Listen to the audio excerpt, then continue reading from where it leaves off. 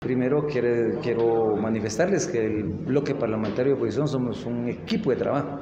Y el diputado y yo eh, teníamos la tarea de interpelar al señor ministro, sin embargo el diputado tiene una serie de, de, tareas pendientes en su distrito, tiene una serie de tareas pendientes en otros lugares donde no tenemos diputado distrital y él está apoyando, entonces de manera conjunta este, se tomó la decisión de que yo continuara con la interpelación y él se dedicara a atender otras tareas inherentes a los trabajos de fiscalización que hace el bloque parlamentario.